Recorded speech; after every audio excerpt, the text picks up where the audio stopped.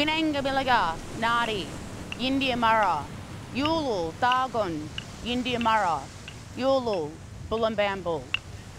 My belief in place and time is to always respect land and to always respect ancestors. Today, as I stand here, I think about the deaths of my people, the deaths in custody of young people, Aboriginal people, Nunga, Wanga, Kuranija, and Kanijal Wanga.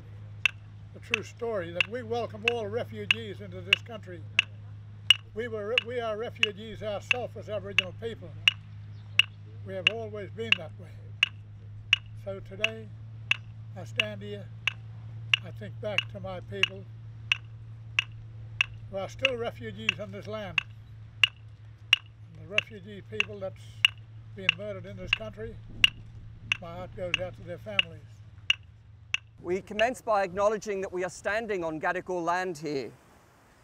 The Gadigal land from which we speak is inscribed with layered histories of settler colonial violence, occupation and ongoing theft of Indigenous sovereignty, unjust incarceration, quarantine penal islands, physical and psychological torture, practice with impunity, and the classification of some lives as worthless and less than human. All of these find their points of origin in these charged sites of settler colonial occupation. Across the water there is Fort Denison, otherwise known as the Pinchgut, one of our original penal islands where we dispatched our undesirables, tortured and executed them. Here at the Roundhouse, as an originary site of colonial violence, looking out to the prison island of Rottnest, we remember that unjust incarceration, quarantined penal islands, physical and psychological torture practiced with impunity, and the classification of some lives as less than human. All of these find their points of origin in these charged sites of settler colonial occupation.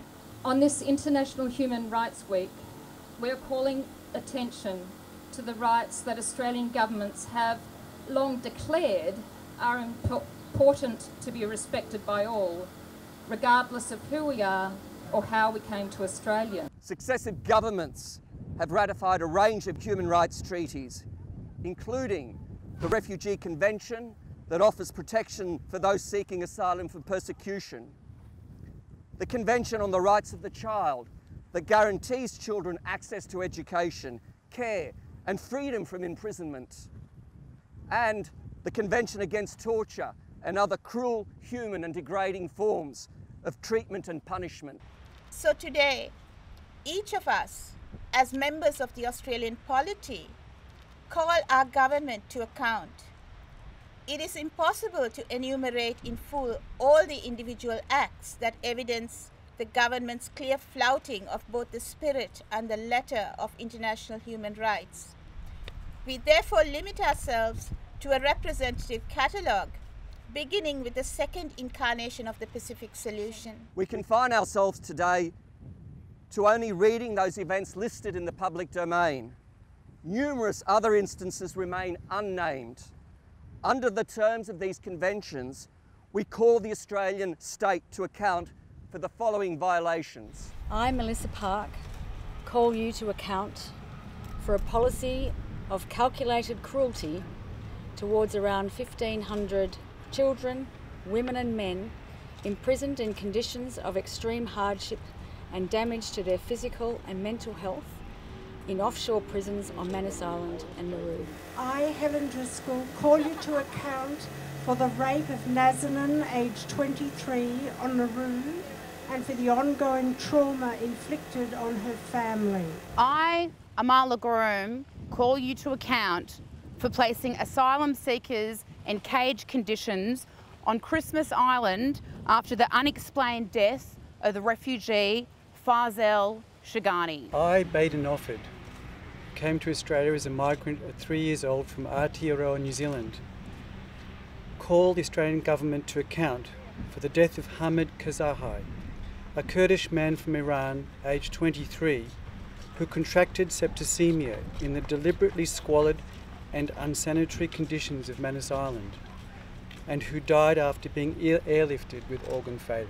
I, John Highfield, call you to account for the establishing of a torture chamber on Manus Island, now known as the Chauka, where detainees experience threats of rape as well as beatings and torture. I, David Whish-Wilson, call you to account for those you have driven into mental illness and irreparable breakdown by imprisoning them in conditions of violence, abuse, and despair. I, Arnold Zable, call you to account for your scandalous treatment of the men living in the transit centre in East Lorengau on Manus Island. I, Robin, as a Yamaji, many of whose forebears and family were taken through this Fremantle roundhouse to incarceration and death at Rottnest Island Prison, call you to account for the forced separation of families, with partners sometimes detained in separate facilities, sometimes one on shore and one offshore, and for the trauma of breaking up families by placing one part of the family in the community while keeping the other in detention. I, Kokila de Silva, call you to account for the forced deportation of an asylum seeker who was driven mad by the regime of abuse and assaults he was compelled to endure and who was handcuffed, taken from the Manus camp and forced to return to Iran. I, Mahinda Pereira, call you to account for the scandal that compels the families of refugees and asylum seekers who have been killed or have died in your custody to pay for the cost of repatriating the bodies of their loved ones in order for them to receive proper burials. I, Kylie Subsky, call you to account for the forced deportations and refoulement of asylum seekers back to their countries of origin, racked by war, violence, persecution and torture. I, Christopher McFarlane, call you to account for the suicide attempts of children as young as five years old in fear of being returned to the hellish conditions of the camp on Nauru. I, Muhammad Ali Bakiri, call you to account for the rape of gay men, the ignoring of the use of young boys for sex, and the return of these boys and gay men to the same compound where their, where, where their rapists remain. I, Evelyn Wong, call you to account for the use of dog squads and late night raids to intimidate and violently move people from one detention centre to another. I, Caroline Flay, call you to account for the imprisonment of women, men and children in the Nauru prison as a result of refugees engaging in peaceful protest. I, Janet Galbraith, call you I call you to account for the forcible transfer of unaccompanied children from Charlie compound to Bravo compound on Christmas Island and for the brutal assault of these child asylum seekers.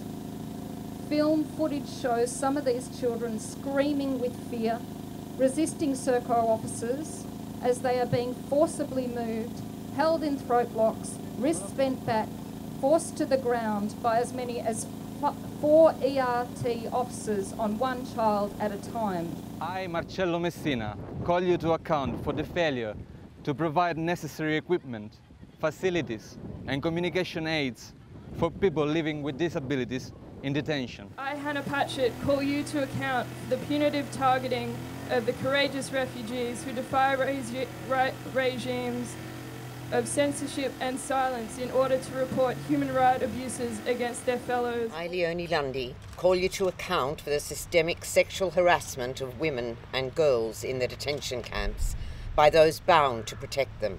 I, Lara Palombo, call you to account for robbing asylum seekers and refugee children uh, of their right to a safe and fulfilling childhood. I, Kaliyuhun Patnathan, call you to account for the death by burning of Tamil man Leo Seemanpillai, age 29.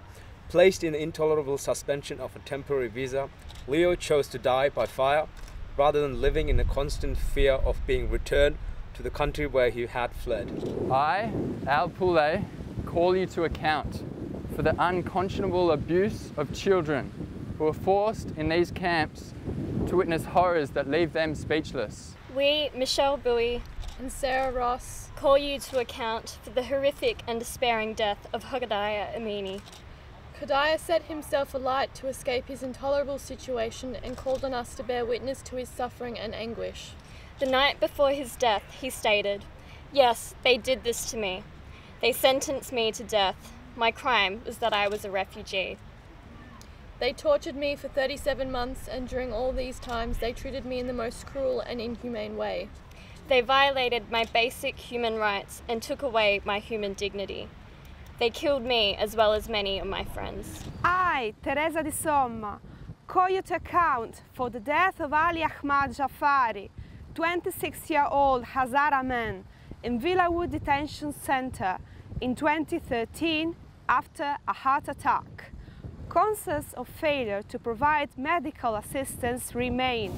I, Teresa Piani, call you to account for the sexual assault of women in Melbourne immigration transit accommodation and for the sexualized violence of the so-called pat downs, now regularly taken under uh, regularly undertaken whenever anyone leaves a detention center to go to a doctor's appointment.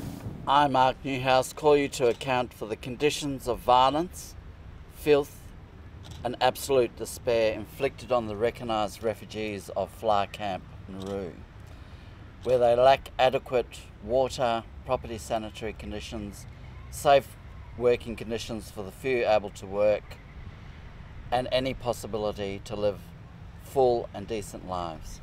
I, Iqbal Bakat, call you to account for stifling the voices of writers, poets, and human rights activists such as Behrouz Boochani and many more.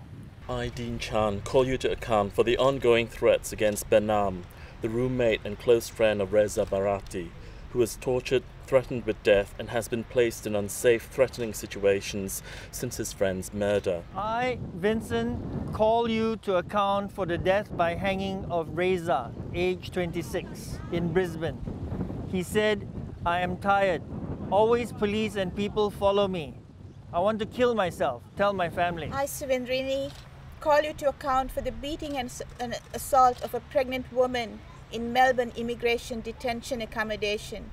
This led to her baby being born prematurely and her being hospitalized and returned to detention, forced to live alongside the group of men and women who had assaulted her and who continue to threaten her.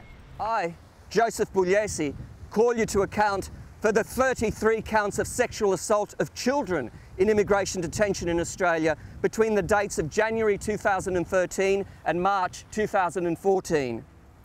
I hold you to account for the numerous sexual assaults that no doubt go unreported. I, Melita Luck, call you to account for the anguish inflicted on the loved ones who are compelled to watch their family members and friends self-destruct as they stand by powerless. We end our calling by quoting from a letter from imprisoned writer Behrouz Boochani.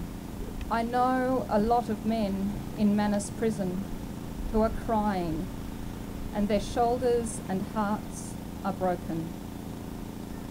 I know a lot of those crying in the darkest nights on a remote island hiding their tears.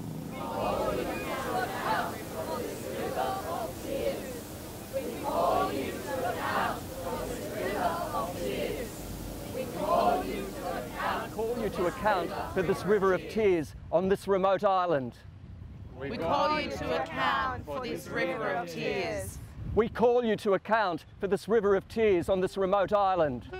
We call you to account for this river of tears.